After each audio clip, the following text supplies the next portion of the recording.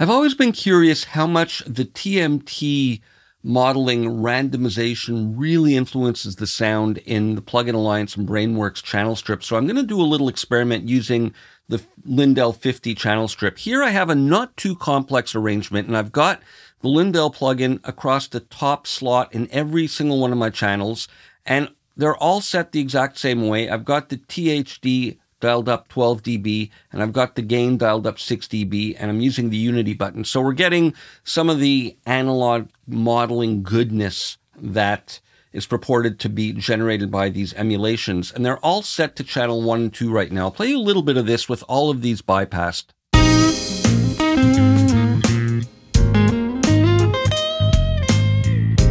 And now with them all in,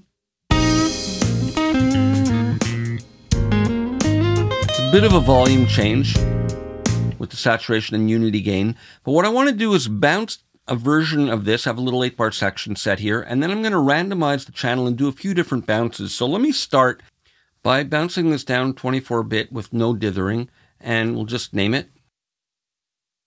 Great. So now let's randomize all. I'll hit play, and we probably won't hear any significant difference like this. And that's fine. And if I click on the different channel strips, we'll see that they're all randomized differently. Some of them are mono, some of them are stereo, but they're all randomized differently.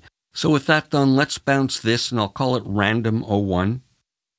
Let's randomize them all again. And now let's do the same thing and we'll call this one random 02. So there, randomize them all again. And we'll do one last one randomize again, bounce, and we'll call it random 04. Now I've got my original track where they're all set to 1, 2, and then I've got all the randomized variations lined up. Let's solo between them and see what kind of differences we can hear.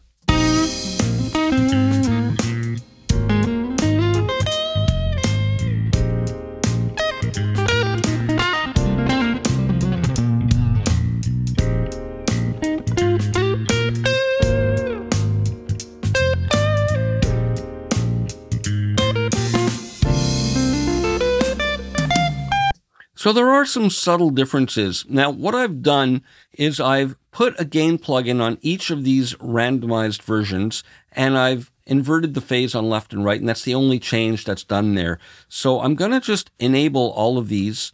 And now what I'm going to do is solo lock this, and we'll play them together and hear what the phase cancellation is like. Now, to start with, I've copied this where they're all at one, two onto another track with the gain plugin, and this should technically cancel out when I hit play. So I'll solo these two together and there should be silence, as we would expect.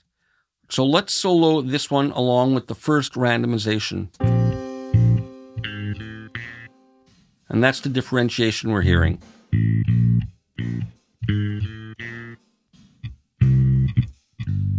Let's hear it along with the second randomization.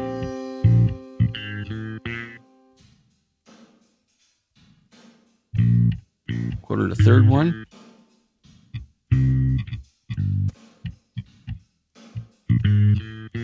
Fourth.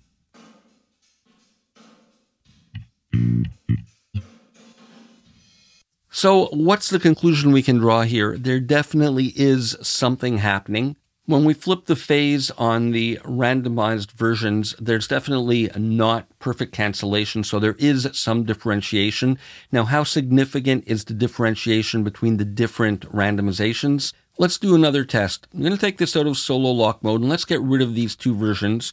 And what I'm going to do is do the phase invert test between one of these randomizations and the others. So I'm taking the gain plugin out here in fact, let's get rid of it so there's really no room for any error. So we'll compare this with the phase inverted versions of the others. I'll put this one in solo lock mode now and solo this and let's hear what differentiation we have. Okay, so there is some differentiation.